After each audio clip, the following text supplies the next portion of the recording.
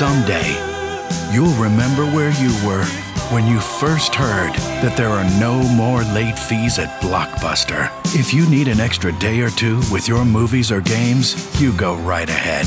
Take them, relax, enjoy more time, and less stress. It's so beautiful. Thank you.